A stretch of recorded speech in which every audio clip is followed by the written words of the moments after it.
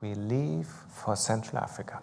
So that is probably the least explored of the big forests of the world.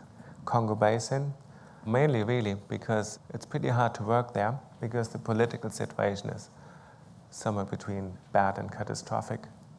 I went there to photograph our closest relative, the bonobo. And um, it's kind of absurd how little we know about it, considering how close we are to it. So we're closer to these guys than to chimpanzees, than to gorillas. And we don't know anything what they actually do in the wild. And working with primates is really hard. The apes, you need to invest many, many years to really um, even start to think about taking, taking data. So when we started this, spent some time in a bonobo orphanage or kind of like a refugee camp where a lot of young bonobos, especially when they get confiscated because they try to sell them for pets while they shot the parents and sold them as bushmeat. So each of these baby bonobos gets a human mom that hangs out with them every day for 12 hours. And until they're six or seven, and then you can start to integrate them into groups.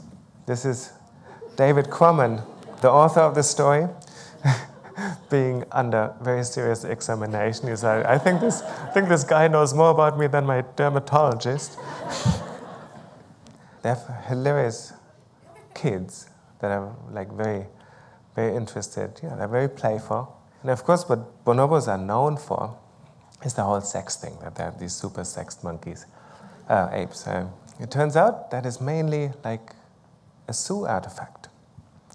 Because the whole sex thing has a, has a social function. It is to release tension and to avoid conflict over really special food items. Type of food items that they don't really find in the wild, but that happens there three times a day. So there was plenty of that. Three times a day, it was really going crazy there. And then I spent 40 days with them in the wild. I saw sex twice.